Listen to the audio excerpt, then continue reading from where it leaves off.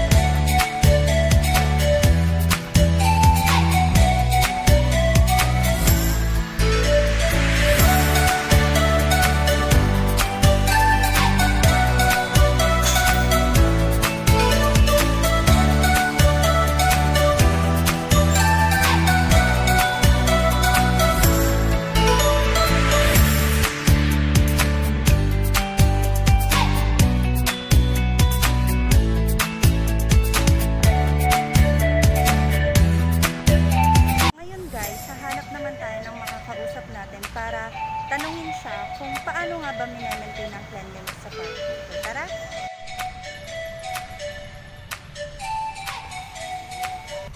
Ano pong pangalan niyo, sir? Normita Velasco, Ano pong trabaho niyo dito? utility worker. Ah, sa tuwing kailan po kayo naglilinis dito sa park? Daily, daily, kami dito, wala kami rest day.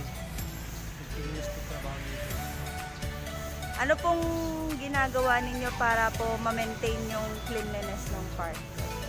Para uh, magandang tignan ang park kasi.